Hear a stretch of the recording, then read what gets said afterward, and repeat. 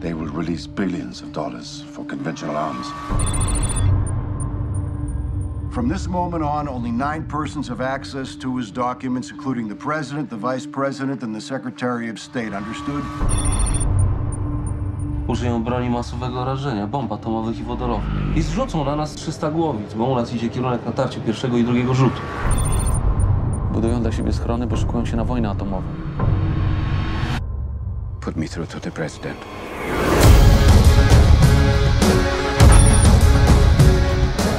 W sztabie zdrajcę. The Soviets know they've got a rat, but they still don't know on which army.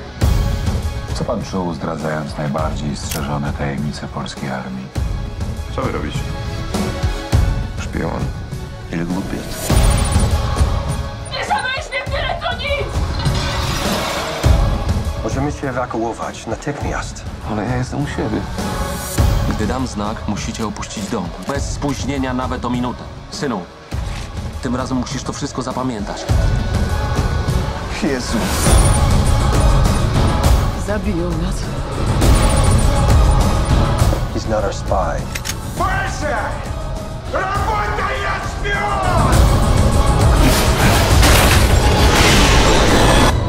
David, who is he? Jack Strong, sir.